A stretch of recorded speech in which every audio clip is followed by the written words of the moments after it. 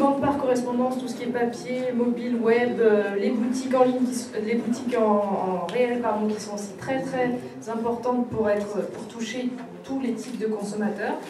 Et euh, on a parlé aussi de tout ce qui était les outils de veille pour pouvoir automatiser et laisser un peu de temps aux vignerons pour bah, tailler les vignes, etc., faire la vérification. Donc l'automatisation avec les outils de veille.